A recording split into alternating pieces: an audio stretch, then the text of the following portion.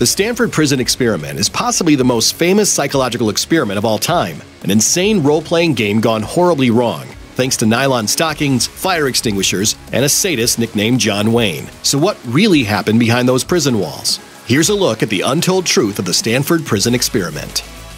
The experiment begins.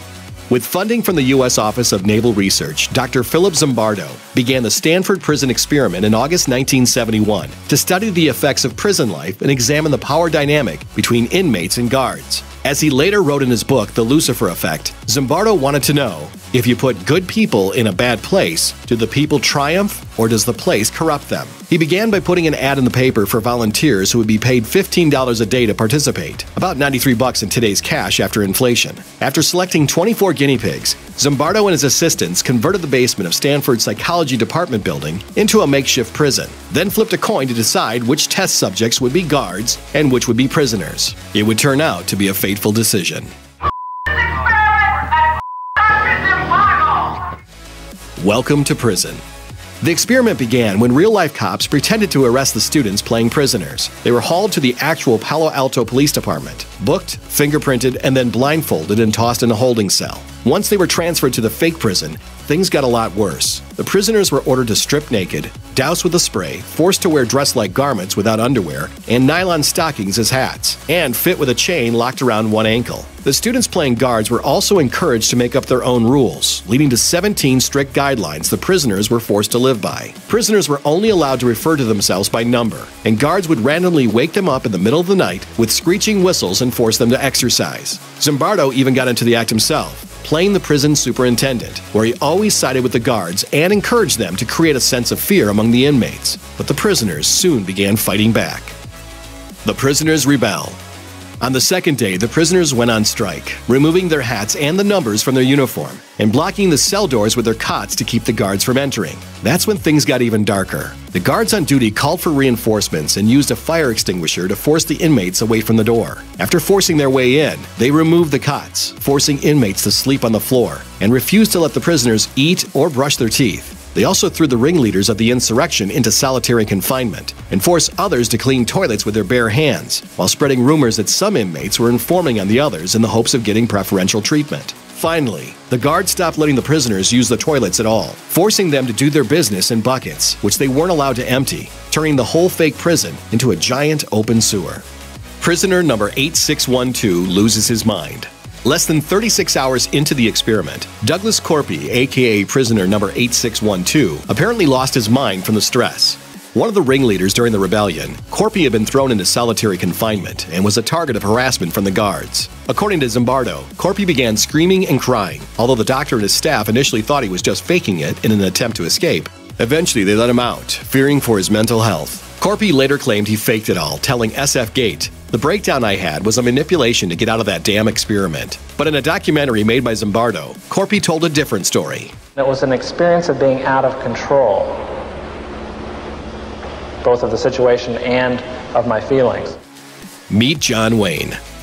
One guard in particular was noted for his sadistic tendencies. His real name was Dave Eshelman, but the prisoners called him John Wayne, though in fact he consciously modeled himself after the villainous prison warden from the Paul Newman movie Cool Hand Luke, going so far as to use a southern accent when speaking to the prisoners. Eshelman orchestrated all sorts of terrible hazing, forcing the prisoners to play leapfrog so their gowns would ride up and expose their privates. He once ordered two prisoners to act as Frankenstein and the Bride of Frankenstein, forcing them to embrace while saying, I love you. As his final infamous act, Eshelman forced several of the prisoners to simulate intercourse. Tellingly, the other guards didn't stop his actions. I started to get so profane that, uh, and still people didn't say anything. According to Eshelman, though, he's not really sadistic at all, but actually a good guy who was simply trying to expose the evils inherent in a prison type environment. He told Stanford Magazine, I set out with a definite plan in mind to try to force the action, force something to happen, so that the researchers would have something to work with. From Eshelman's perspective, any blame lies with Zimbardo.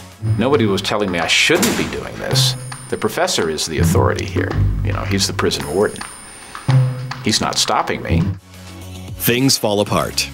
Over the course of less than one week, five students playing prisoners had to be released due to severe psychological issues caused by the abuse of their guards. Perhaps the worst was the case of prisoner number 819, who broke down weeping. When Zimbardo allowed him to rest in a nearby room, however, the prison guards lined up all the other inmates outside the door and forced them to chant, Prisoner number 819 did a bad thing, over and over again, until the poor guy was reduced to a blubbering wreck.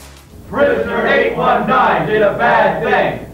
Prisoner 819 did a bad thing.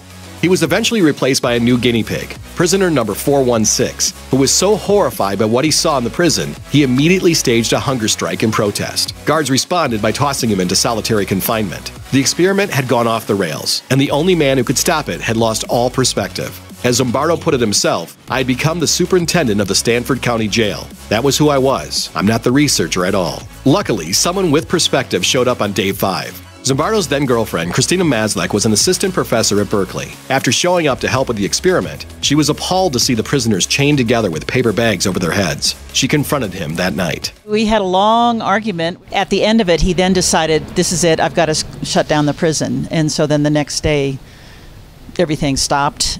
The experiment was supposed to run for two weeks. It had only lasted six days. Aftermath.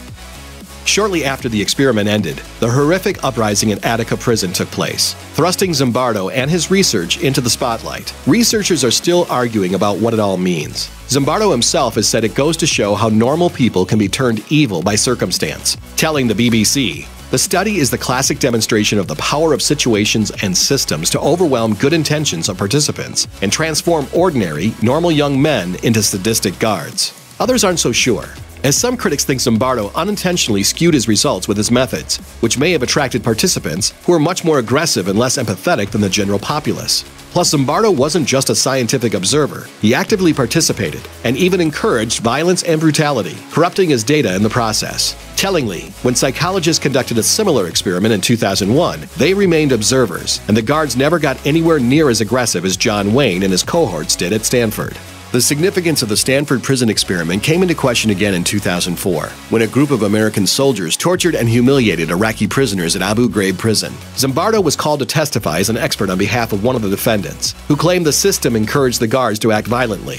Zimbardo agreed, saying Abu Ghraib was the Stanford prison study on steroids. The defendant still received eight years behind bars, however, which some might consider an ironically fitting epilogue to the saga of the Stanford prison experiment. Thanks for watching. Click the grunge icon to subscribe to our YouTube channel. Plus, check out all this cool stuff we know you'll love too.